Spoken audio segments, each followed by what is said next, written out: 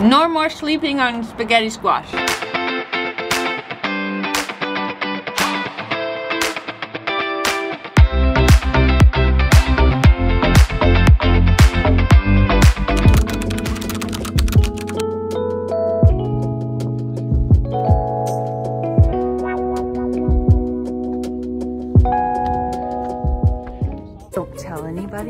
This is where I go to pee when I hike. Every time I have to pee when I get here. I'm wearing this camouflage jacket, so I feel like nobody's ever gonna be able to tell. Never had a nicer view while peeing.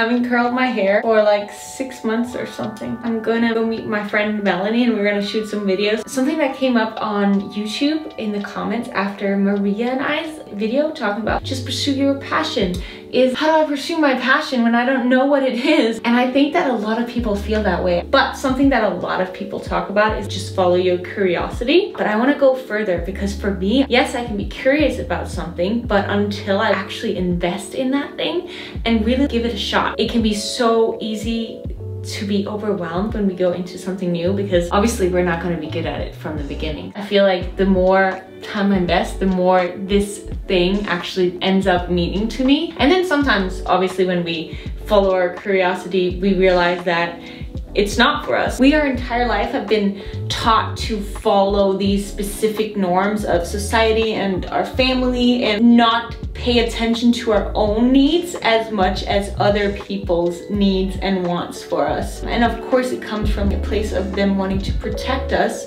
but that also makes it really hard when we grow up and we then don't know what we're supposed to and meant to do because we have never learned to actually listen to that gut feeling, listen to what we want for ourselves. We're so used to letting everyone else's opinions matter more than ourselves. I think that's a skill like anything else, which means because it's a skill, it's something that we can teach ourselves and it's something that we can learn to understand. We just gotta learn to listen to ourselves. I've definitely gotten better at it over time. It was not easy in the beginning, it's still not always easy, but when we practice, we get better. It's two minutes later and the curls are completely gone.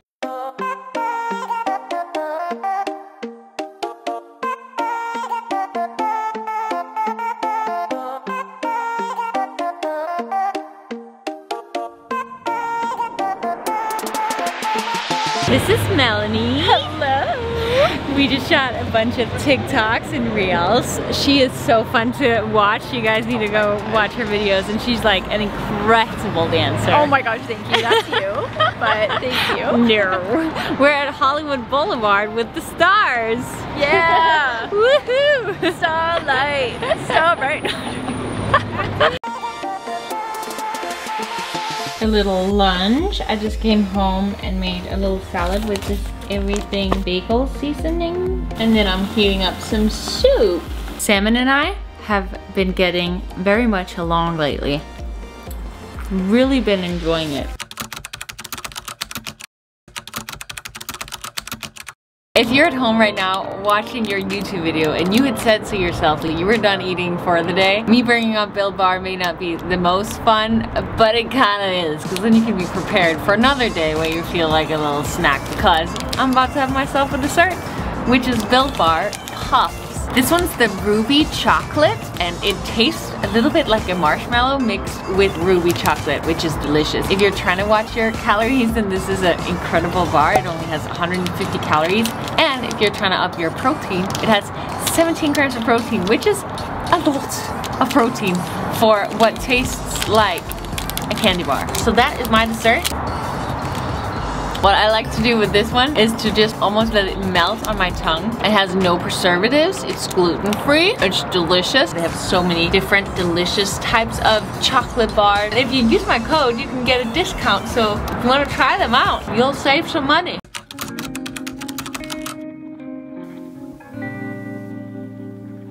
I wanna show you my little morning routine setup. So I do the meditation and then I have my journal where I write three pages. That's something new I started. Three pages, whatever comes to my mind. And sometimes I'm like, wait, what should I talk about? But then it's like, write about my goals, write about what I'm grateful for, go through a situation I'm struggling with. And then I have my gratitude journal and I started doing three things I'm grateful for, but now I'll often fill out a full page like this, which is supposed to be for a full week. And sometimes it asks me questions. And today it asked me, write about one experience that you're grateful for that shaped who you are today. And I wanted to share this with you because what I really realized as I was writing this, every time that something massive has changed, it's been because of me reading a self-development book. In case you've wanted to read some book but you haven't done it yet, it's so powerful. The first time I read a self-development book, I was 16 in high school and that was like the start of my journey. And then the second one that I read, I'd gotten to LA and it completely shifted my self-belief. Incredible growth started happening. And now I listen to them, which is not as powerful, but I choose to do it that way because I know with myself that that's more time effective. But when I do have the time, then reading definitely makes me absorb it better. So if you are willing to prioritize actually reading it, I think is the best thing. And then I have this journal, my to-do list. I get really creative in the morning, so that's when I get the best ideas, oftentimes while I'm journaling. And so I put it in my to-do list so that I can act on it right away. I think that if we have an idea, the sooner we take action, the more likely it is that we actually make it happen. So I'll do that. And also, I ask myself every day, what is one thing that would make me feel the most proud of myself today? And so when I do it, I just feel incredible. So I think that's important. And then I have my angel cards because sometimes it feels good to get guided. And if you don't do this or don't believe in it, you're gonna think I'm nuts. But these cards are so on point. It's insane. And excuse my leftover makeup once again. We gotta get better at removing it, but I get really tired at night. That's when I'm the most lazy. And now's the time where I don't feel like doing my morning sprint, but it's the time where I gotta do it. Gotta do it, let's do it.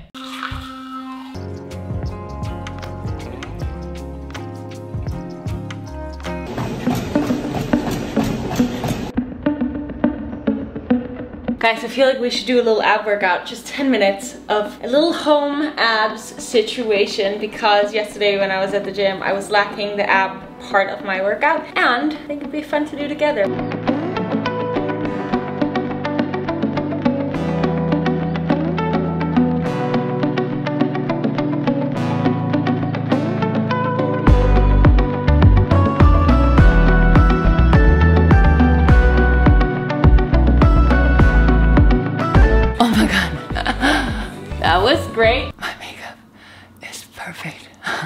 Usually I do weight training later in the day. I do the sprint in the morning and then I work productively. But a little ab workout in the morning never hurt nobody. This is so not typical me, but I just got gifted this shirt from Pretty Little Thing and these shoes. So I thought I'd try and spice it up. I'm going for a breakfast with my Danish friend who used to be my Danish dance teacher. Here. This is Simon. He's a star from Denmark. so we see a five, six, Okay. Five, six, seven, eight. okay, okay, okay.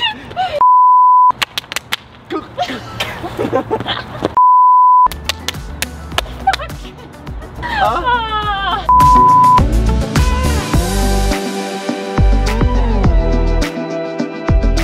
Eggs and potatoes.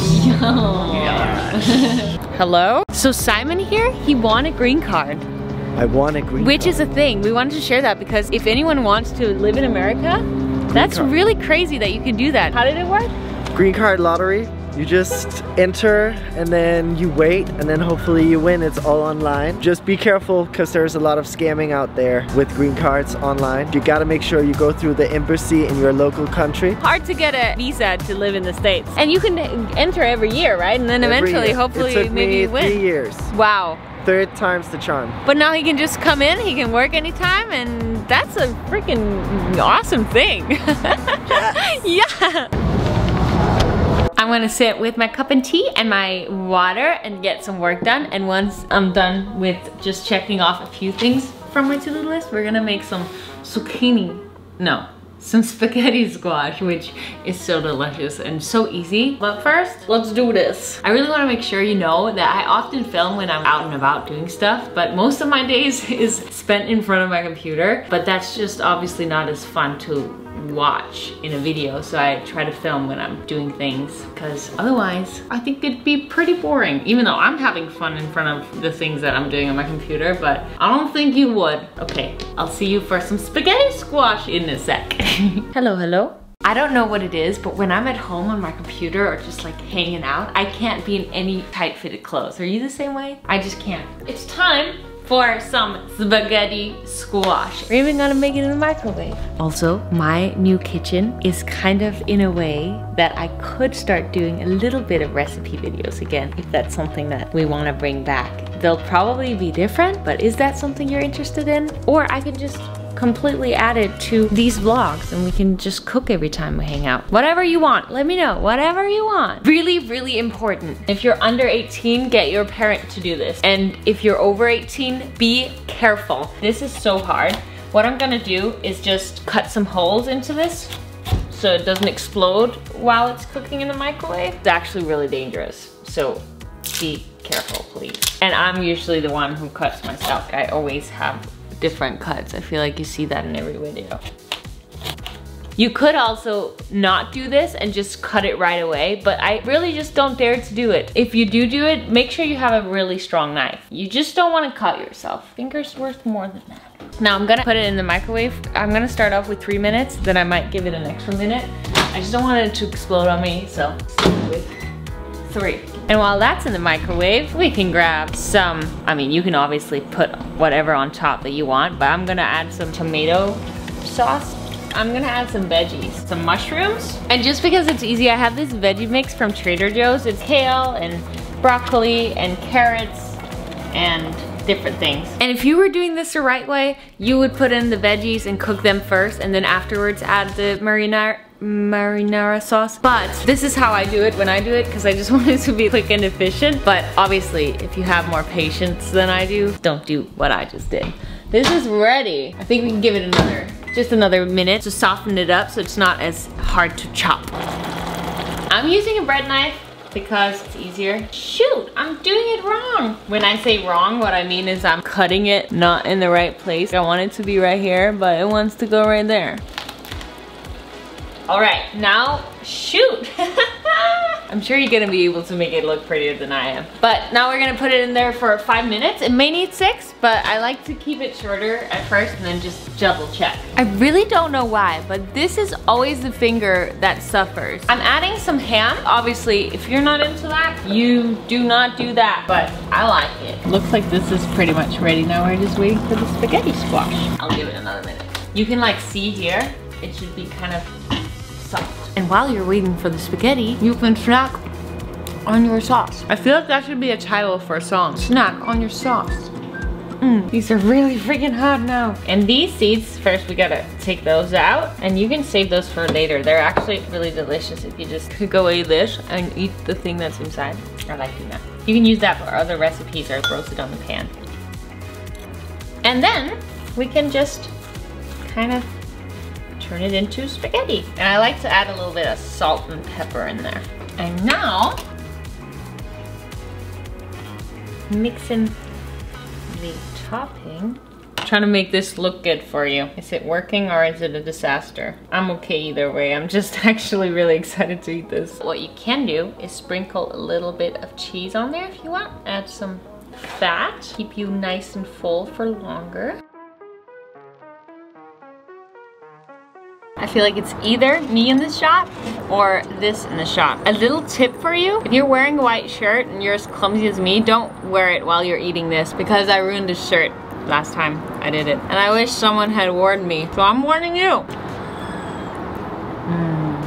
It's so good. I feel like I'm just gonna sit here and make weird noises if I keep the camera on, so I should probably just you guys later. I don't know if you can tell. I try to get absolutely everything out of this because it's so delicious. And I didn't start doing this till after getting back to my Ayurveda retreat, so I've really been sleeping on these spaghetti squashes. And if you have too, my friend, this is your sign. No more sleeping on spaghetti squash. It's also really filling. It has incredible health benefits. It's in family with the pumpkin and zucchini and squash. It's in the family with. Isn't that what you say? It's related to. The squash is the homie of the pumpkin and the zucchini. I've been switching up my oat game recently. I feel like it's just gonna be a phase and then I'll go back to the normal. I've been doing overnight oats. And then what I do is I just put however much oats I want in there. And then I add about half a scoop of this protein powder. It's the one I've been using lately. It's the vanilla ice cream one from 1Up Nutrition. And then I just add some blueberries in there. I don't know why I'm doing this while you're so far away. What am I doing? And then my go-to fruit is typically apple, but I've wanted to change it up a little bit because I've heard that there's so much good in kiwi. So adding some kiwi. Then I add some raw sliced almonds. I feel like you're not able to see all the beautiful things we've got in here. Am I messing this up? Oh sh! Yes I am. Wait, I was really trying to do my best to make it look pretty for you guys today, but oh well. And then I like to add dried cranberries. And I use the ones that are 50% less sugar. Then I feel healthier. And those are my overnight oats. Trying to make this look good, but I don't think it's working. It tastes good. And that's the most important, right? Also, I forgot to say, I put in oatmeal, protein powder, and cinnamon. And then I put a little bit of milk and a little bit of water, so like half and half. And I use either almond milk or oat milk, just because that's what I've been getting for my coffee. And then I usually have the weird mix of my soup, or Ayurveda soup, the meal prep you saw, and then oatmeal. Or something else. I change it up every day, but not every day. I change it up, but there is no but. This is what I often make. Mm. Tastes so freaking good. And I think you can make it three hours before you're gonna eat it or something. It just needs a little time to absorb in the fridge.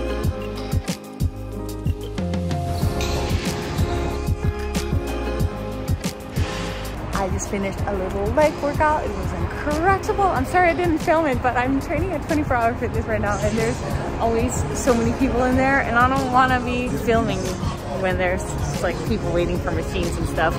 But it's one of the workouts from my January challenge. It is very fun. So if you want to give it a try, I hope you enjoy it.